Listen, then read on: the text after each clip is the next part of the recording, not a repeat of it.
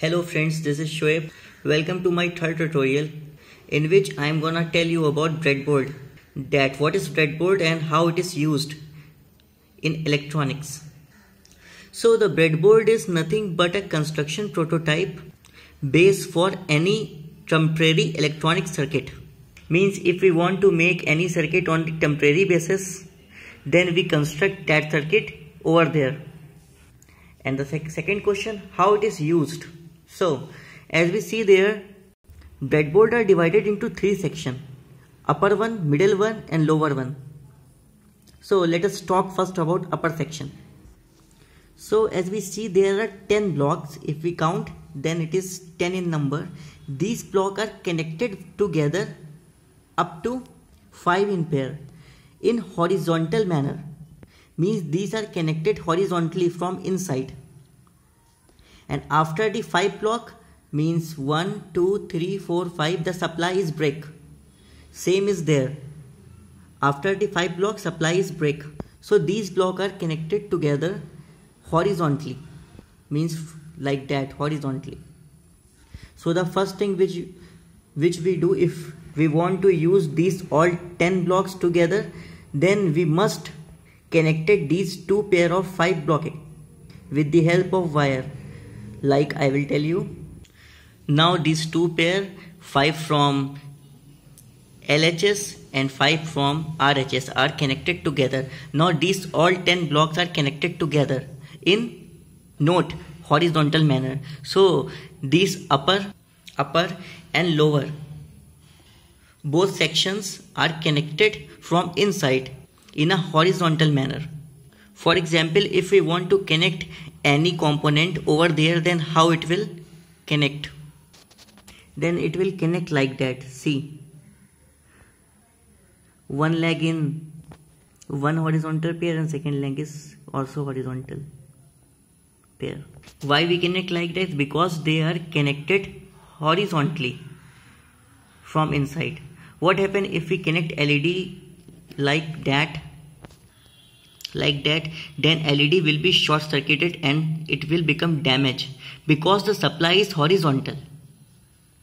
Usually in breadboard these upper and lower section are used for supply purpose like I connected upper one with my 9 volt battery in order to make this upper section as a DC supply. Now this become this line become negative and this line become positive Let's move toward the middle section. It also have dotted lines but note these lines are connected vertically means vertically from inside. Not horizontally horizontally is upper and lower one and middle one are connected with each other in vertical manner like that like that like that vertically. So what happen if we want to connect any component over this middle line? How it will connect? Uh, i will tell you now it will connect like that. One leg over there and one leg in that row. Because they are connected vertical vertically from inside. What happen if we connected these LED terminal like that? So if we connect our LED like that then LED will definitely short circuited and become damaged. Why? Because these line are connected with each other vertically not horizontally. These are connected vertically. That's why LED becomes short circuited. Because in both the leg same supply are going so it becomes short circuited. So note never connect any electronics component like that in middle row.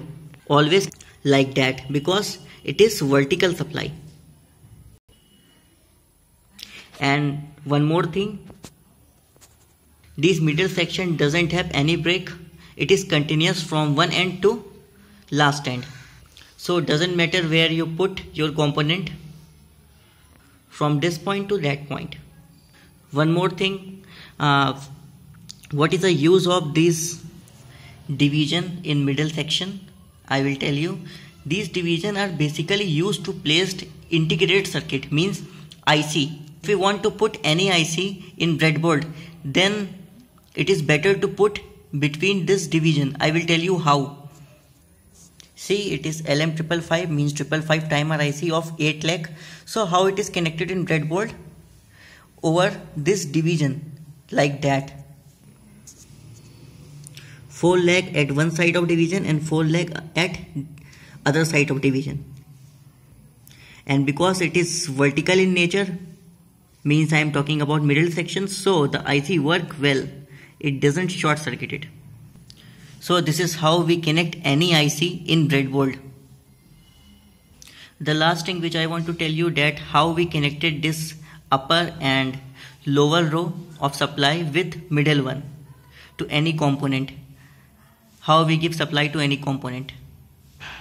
As we know these all 10 block have same supply so I connected negative with negative leg and positive with positive leg. Like this line have negative supply and this line have positive supply through this battery. My LED is not glow because the battery is damaged that's why it's not glow. But don't be confused it's just example to tell you how supply is given in a breadboard so I want to remind one once again like breadboard of three sections upper one middle one and lower one upper one have horizontal supply last one have horizontal supply only middle one have vertical supply so thanks for watching my tutorial. I hope this video prove helpful for you guys. If you want my more update, please subscribe my channel. I will be back very soon with more interesting tutorial regarding electronic circuits and embedded system. Thanks for watching my video and please don't forget to subscribe my channel.